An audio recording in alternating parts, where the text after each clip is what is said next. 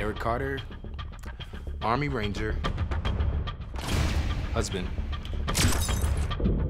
And patriotic. there will be attacks all over this country. Do you understand me?